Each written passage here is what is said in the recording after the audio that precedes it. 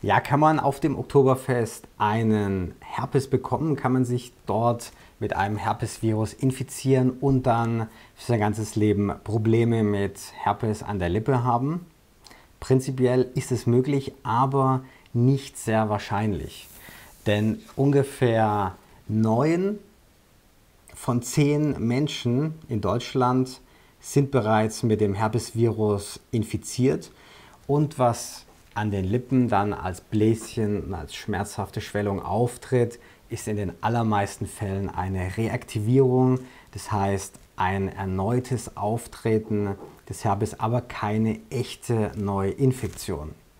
Wenn der Herpesvirus sich bei uns im Körper aufhält, dann ist es meistens hier in diesen sogenannten Ganglien, das sind Nervenknoten, Dort wandert der ein und wenn unser Immunsystem, was diese Viren hier in Schach hält, runtergefahren ist, beispielsweise durch Stress, durch UV-Licht, manchmal auch durch Ekel, dann kann es sein, dass diese Viren sich hier wieder vermehren und dann hier rauswachsen und dann an der Haut diese Bläschen verursachen und leider auch eine Hautzerstörung. Das heißt, ein Herpes kann prinzipiell auch zu Narben führen.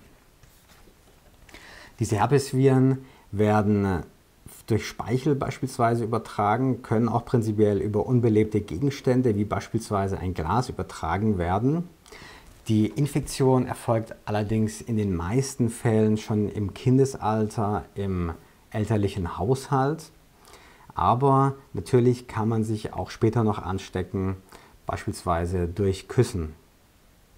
Diese Herpesviren werden meistens in Schach gehalten und nur bei einem kleineren Anteil von Menschen kommt es dann zu regelmäßigen Ausbrüchen. Wenn man jetzt einen Herpesvirus-Infekt kommen spürt, ist es meistens so, dass man so ein Kribbeln an der Haut hat oder manchmal auch Schmerzen und die meisten Menschen, die unter wiederholten Herpesinfektionen leiden, die wissen schon, okay, jetzt kommt ein Herpes und dann ist es ganz wichtig, dass man hier rechtzeitig therapiert. Es gibt mehrere Möglichkeiten an Arzneimitteln, die auch frei verfügbar sind. Das bedeutet, sie sind apothekenpflichtig, aber nicht rezeptpflichtig. Und das einfachste ist einfach Zinksulfat. Das wirkt gut austrocknend und das Zink kann auch die Virusvermehrung hemmen. Ein Präparatebeispiel ist Virodermin. Naturerkenntlich kann man mit Melisse-Salbe behandeln, mit dem Melissenextrakt. Der kann auch die, die Teilung und die Verbreitung dieses Herpesvirus hemmen. Hier gibt es ein Produkt, beispielsweise Loma Herpan, was man einsetzen kann. Dann kommen wir zu den Medikamenten. Acyclovir, vor allem in Kombination mit Hydrocortison, wird empfohlen. Es ist wirksamer als jetzt beispielsweise Acyclovir alleine. Das ist auch in den Apotheken rezeptfrei erhältlich. Und Penciclovir ist ein weiterer Wirkstoff, der die Vermehrung von den Herpesviren in den Nerven hemmen kann. Das ist auch ein Produkt, was frei in den Apotheken verkäuflich ist.